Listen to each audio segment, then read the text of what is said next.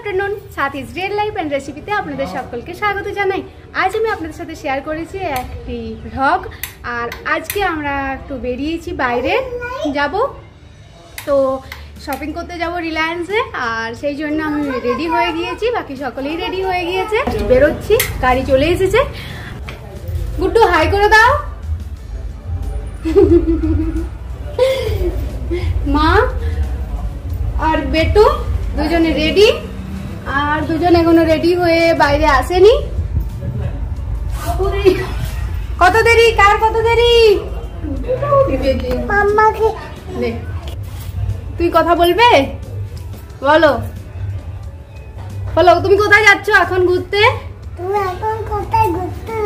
সেটাই জিজ্ঞাসা করছি কোথায় যাচ্ছ? বলো রিলায়েন্সে যাব শপিং করতে। কোথায় আমিও এখন মলে যাব শপিং মলে যাবে?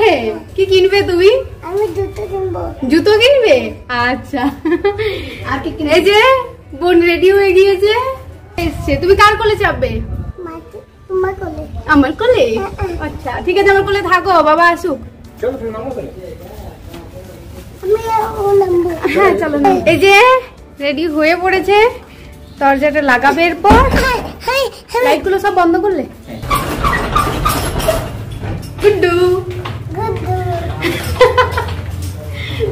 কে আমার বেবি চলে গেছে। হ্যাঁ বাঘগুলো চলে গেছে। চলে হ্যাঁ? বাগটাও চলে গেছে সিংহটাও চলে গেছে। আচ্ছা বাঘ সিংহ সব চলে গেছে? হ্যাঁ। হ্যাঁ তো সব চলে গেছে। বলো আমাদের এখানে গাড়ি আসেনি। গাড়ি আসবে একটু দূরে।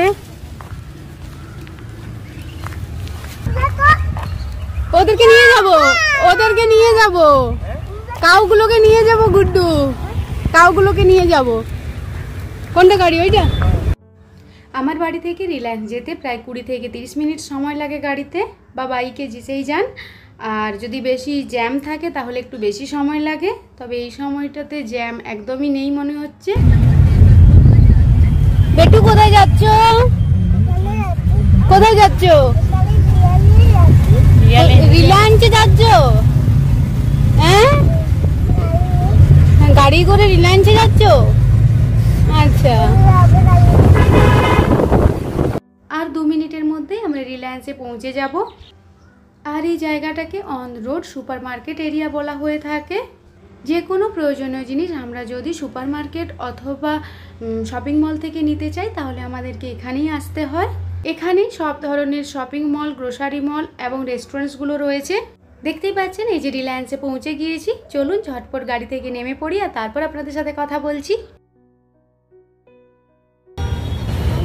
তো আমরা এখন রিলায়েন্সে পৌঁছে গিয়েছি আর এরপর ভেতরে যাচ্ছি আর ওখানে কীরকম কেমন কালেকশন রয়েছে সেগুলো কী কী শপিং করা যায় আর চলুন আপনারা আমাদের সাথে। এই যে, তারা সব চলে যাচ্ছে আমি ওর যাব। দেখা যাক কীরকম কালেকশন রয়েছে সেই রকম জিনিস কেনাকাটার ভাবনা চিন্তা করেছি। চলুন দেখা যাক কীরকম কালেকশন এখানে রয়েছে শেয়ার করতে পারলে অবশ্যই আপনাদের সাথে শেয়ার করব। এখন ওপরে উঠছি, প্রথমে আমরা ড্রেসের দিকে যাচ্ছি আর তারপর নিচে জিনিসপত্র নেব গ্রসারি এখন ওপরে যাচ্ছি ড্রেস কেনার জন্য। ড্রেসের রুমে চলে এসেছি। বেটু, তুমি কি নেবে বলো? হুম? জুতো নিতে হবে আগে। আগে জুতো নিয়ে ইয়ে করে ওকে পরিয়ে দিতে হবে তাই তো? কি কিনবে? খেলনা? খেলনা এখানে পাওয়া যায় না। এখানে শুধু ড্রেস পাওয়া যায়। বুঝেছ? আমাকে দাও একটু। চলো তোমাকে দেবো চলো। চলো আগে মাসিমণি ড্রেস সিলেক্ট করি কোনগুলো পছন্দ হচ্ছে। বুঝেছ?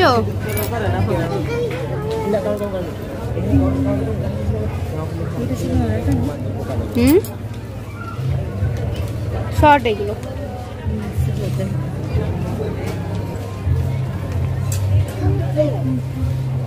তো আমরা এখন আগে সিলেক্ট করে নিই আর তারপর আপনাদেরকে জানাচ্ছি কোনগুলো পছন্দ হয়েছে।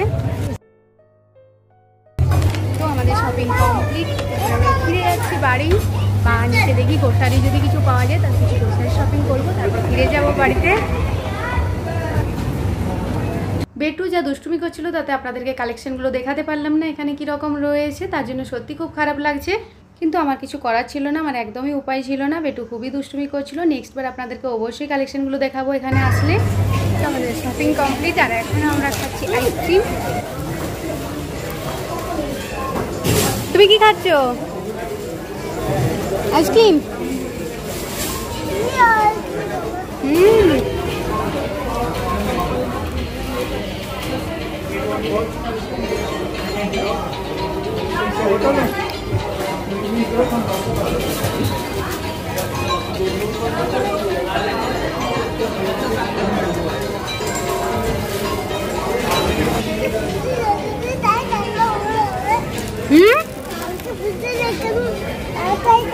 আচ্ছা আঙ্কেল ফ্রিজে রেখেছিল তাই ঠান্ডা লাগছে?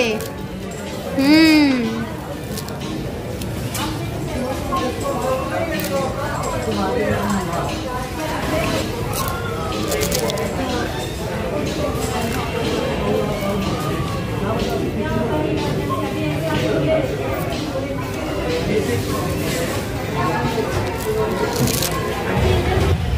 আমাদের শপিং কমপ্লিট হয়ে গিয়েছে। আর এই যে আমরা এখন গাড়ির জন্য সকলে ওয়েট করছি।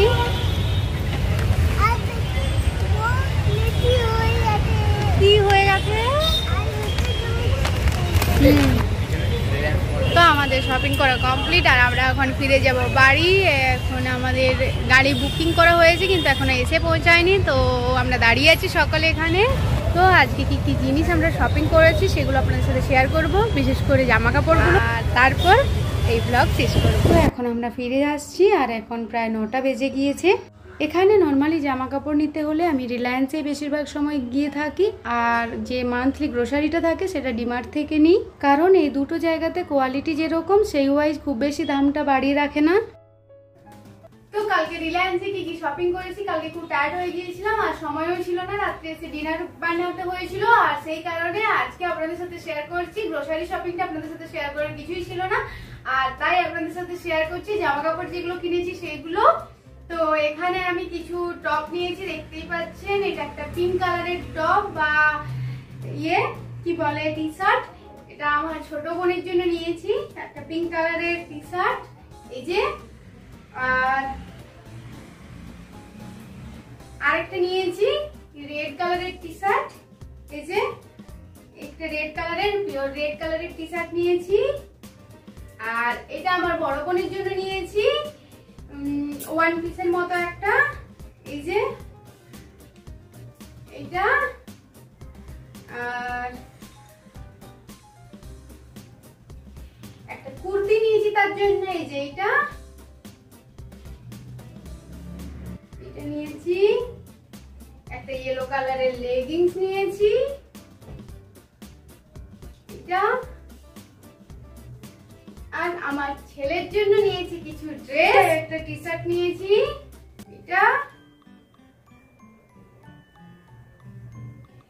যেহেতু এখন খুব গরম তাই হাফ কাটা নিয়েছি।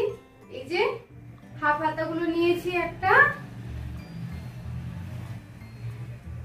দুটো শর্টস নিয়েছি। একটা ব্ল্যাক, আর এই যে একটা রেড নিয়েছি। সাথে এইগুলো ফুল প্যান্ট নিয়েছি। খেলাধুলো করার সময় ফুল প্যান্ট পরে থাকলে ধুলো গায়ে লাগবে না। এই প্যান্টের মধ্যেই লেগে যাবে। তো তিন ধরনের, এগুলো একটা কম্বিনেশন ছিল, তিনটে একসাথে ছিল। তো এই তিনটে নিয়েছি। আরও একটা নিয়েছি। স্লিভলেস এই যে, এরকম রেগুলার ইউজের জন্য নিয়েছি যাতে পরতেও সু- ভালো লাগবে, এগুলো কমফোর্টেবল লাগবে। এই যে এটা নিয়েছি একটা হোয়াইট কালারের স্লিভলেস আর এই একটা নিয়েছি হাফ স্লিভ এই যে